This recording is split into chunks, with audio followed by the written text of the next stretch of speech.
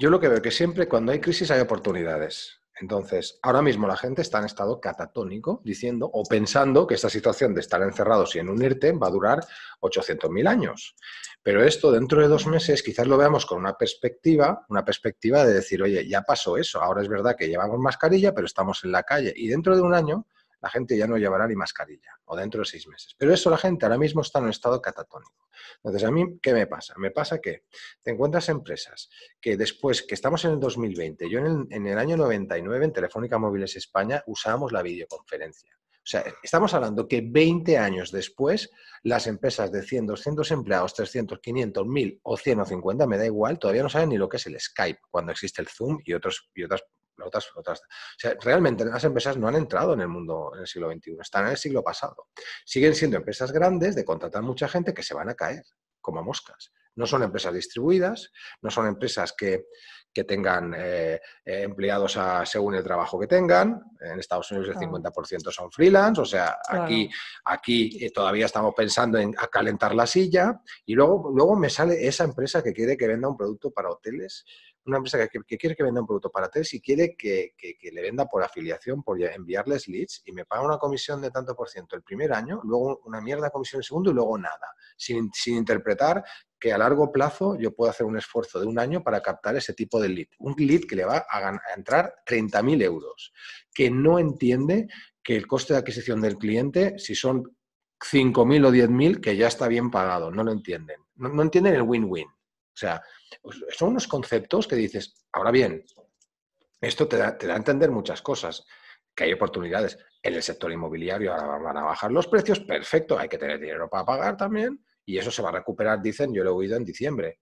Pero luego es el concepto de decir, bueno, vamos a ver, hay nuevos, entran nuevos eh, modelos de negocio. Pues la gente tendrá menos dinero, pero hay em, estas empresas grandes que, que son tan rígidas y son incapaces de ver esto, eh, van a caer, van a caer, no aguantarán dos, tres meses, porque sobre todo en, el mundo de temporada turística como es España, pues es imposible que vean eh, que, que, dentro de, a ver si aguantan financieramente y luego volverán, estoy seguro que volverán al mismo modelo económico de antes del coronavirus. Y además en un modelo del siglo XX a mí me dan ganas de coger a la gente y hacerle así, porque están viendo, están viendo, están viendo Netflix, están viendo series, están viendo televisión, están saliendo al balcón a aplaudir, lo cual me parece cojonudo, pero de formarse nada, de meter Zoom, de contactar con gente, de ver posibilidades de negocio, de pagar un curso, de formarse, es una oportunidad perfecta no solo para estar en familia o para conocer a tu pareja más, sino también, un poco Netflix, vale, pero joder, Ahora que estás en casa, mira perspectivas tu carrera profesional, mira en perspectivas qué va a pasar en el escenario post-coronavirus, porque hay oportunidades, va a haber un montón, pero hay que prepararlas hoy. No se pueden preparar un mes después de que la economía haya vuelto a relanzar. Pues eso es como está la gente, catatónica, viendo Netflix en casa y diciendo que cuando vuelva el mundo será exactamente igual, le van a pagar la nómina y claro, las empresas no, como si no hubiera pasado nada. Cuando la temporada turística seguramente la vamos a perder, cuando las, caídas de las inmobiliarias se pegan una leche porque no se va a comprar ni se va a vender nada, hay, va a haber muchas oportunidades, lo digo, lo digo sinceramente yo creo que va a haber muchas oportunidades. Porque muchas grandes empresas van a, pegarse una leche y porque el consumidor seguirá consumiendo. No sé cuántos bares se van a traspasar dentro de nada o restaurantes. No aguantan la leche. Mm, aquí, en Mallorca no aguantan un pimiento. Los bares y restaurantes que viven al día de coger el dinero de caja y previsión cero, igual que las inmobiliarias, previsión cero. Cero. Ah, pues es un momento de tierra quemada en el cual, si te organizas de una manera tal, pues Coges un socio que ya tenga una experiencia, coges el know-how, pero lo montas en plan variable, sin grandes oficinas, sin, sin pagar cuota al mes. No lo sé. Lo haces como en el siglo XXI, vamos.